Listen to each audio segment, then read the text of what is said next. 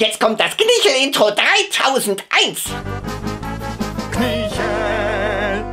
Hallo ihr Lieben, ich habe euch ja in einem meiner letzten Videos erzählt, was ich seit 2019 äh, bis 2022 alles auf der Bühne gespielt habe und nun möchte ich das fortsetzen. Nun möchte ich euch erzählen, was ich seit 2022 auf der Bühne zusätzlich spiele. Also ich habe jetzt 2022 bis Mitte 2023 der kleine Drache Kokosnuss gespielt, das Musical. Da habe ich ähm, den Gerd gespielt und die Proselinde und äh, den Kürbisknut. Aber jetzt, seit 2022, bin ich auch der Bühnenwuselgusel. Also falls ihr Wuselgusel nicht kennt, Wuselgusel ist eine Wissenssendung im äh, Privatfernsehen.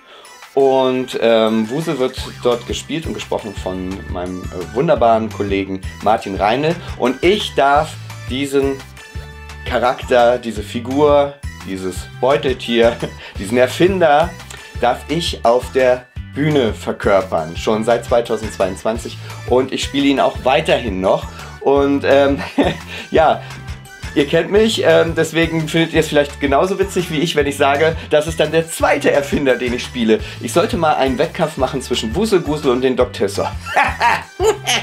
ich hab's erfunden. Nein, ich hab's erfunden. Und zwar 3001 Mal. Äh, nein, wer hat denn die 3001 erfunden? Ich natürlich. ich freue mich wirklich tierisch, dass ich den Wusegusel auf der Bühne verkörpern darf. Und wann ihr den wo sehen könnt, das seht ihr zum Beispiel auf meinem Instagram-Account. Da habe ich ein Highlight erstellt. Da habe ich immer alle Termine drinstehen, wann ich wo spiele, weil wir touren wirklich durch ganz Deutschland, Österreich, Schweiz, äh, Luxemburg. Überall touren wir umher. Und jetzt zeige ich euch noch etwas und zwar den offiziellen Trailer von Wusegusel, das Wusikel. Viel Spaß, bis dann. Stell dir mal vor, was möglich wäre auf einer Reise durch die Zeit.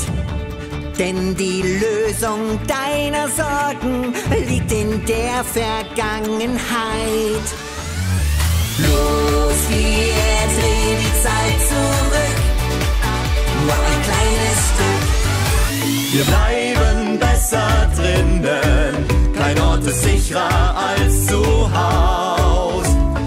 sind doch nicht von Sinnen.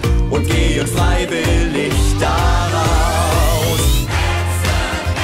Sie wollen nicht brennen sehen, weil sie nicht